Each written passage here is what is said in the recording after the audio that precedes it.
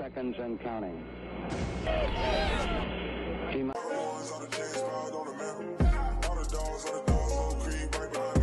Hey, what's up, guys? City Entertainment here, back with another video. And today we have some breaking news coming from the Houston Texans as they have announced their first cut of the roster cut down, and it's Christian Kirksey, the linebacker who is the team's one of the team's defensive team captains just last year. Kirksey uh, signed with the Texans on a two-year, ten million dollar deal uh, with $4 million worth in guarantees and a $1 million signing bonus for each year, uh, meaning the Texans have saved, we estimate, around $4 million. Not exactly sure on the, the precise number there, but this move should save a decent amount of money for the Texans while have some flexibility and when it comes to what they want to do with the roster cut down, as this is the first one.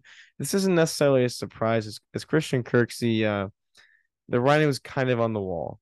He's been injured for most of the offseason. He had a really, really rough, in my opinion, rough season last year. I just, in my opinion, he was probably one of the worst starters on the field. He, he was a liability in coverage.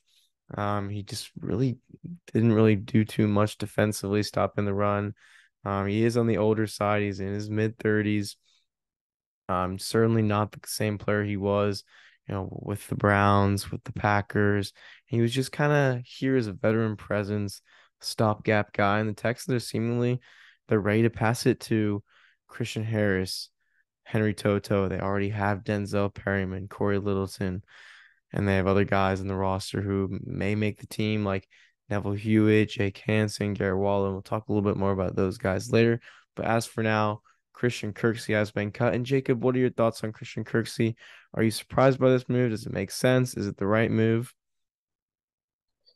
Coming into this offseason, I didn't think Kirksey was going to get cut just because I think they like him as a locker room guy. And I get that. But when he didn't play really at all during training camp due to injury and just he came off a bad year, he was not good last year the writing was kind of on the wall for him, especially when they drafted To'oTo'o and they're prioritizing Christian Harris and Blake Cashman's played pretty well. And they signed Denzel Perryman and Cory Littleton and all these other linebackers that just are better than him. I mean, he's he had a pretty good career, but he's at the tail end now, and um, it's just better for them to move on. I mean, they're trying to win games this year and they're trying to develop their young talent. And so he was just kind of taking up reps when he wasn't very good. So, I mean, this is the right decision. I just didn't know if they were going to do it, but I'm very glad to see that they did do it.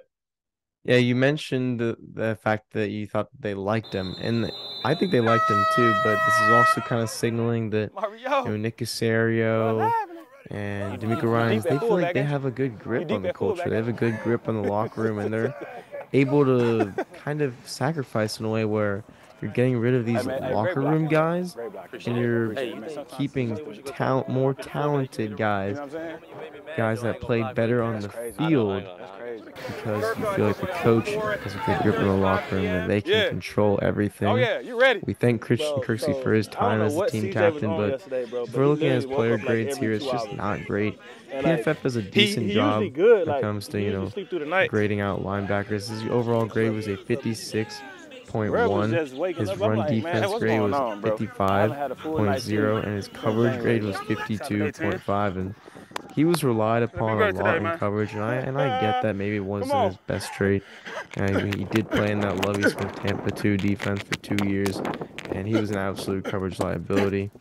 Um, you know, go, guys Cash. like Christian Harris and Blake Cashman go, and To'oTo'o are definitely much One, two, better fits coverage-wise. Right, let's get, let's Denzel get, Perryman get. has looked to be a phenomenal run defender so far. He's able to bang off blocks, go through contact, finish the play, huh? make big hits, Come make big now. plays. He's had a really good preseason too. And then you know he just kind of ran out of a spot for Christian Kirksey to have. Overall, this was the right move. It saves money. It you know, saves room for like more talented players. Players that simply deserve it. Christian Kirksey did nothing this offseason, no offense to him, to warrant a roster spot at this point in time, like you mentioned, being injured and all that.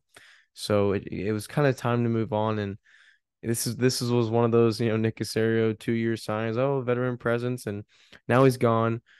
And we're moving on to a new chapter, DeMeco Ryans' tenure. And we're very excited to see how the 53 man roster kind of looks after all this. Uh, this was definitely probably one of the bigger cuts you'll see from the Texans, but it was definitely a necessary one. That's going to be it for today's video. Thank you guys so much for watching, and we'll see you next time. Peace.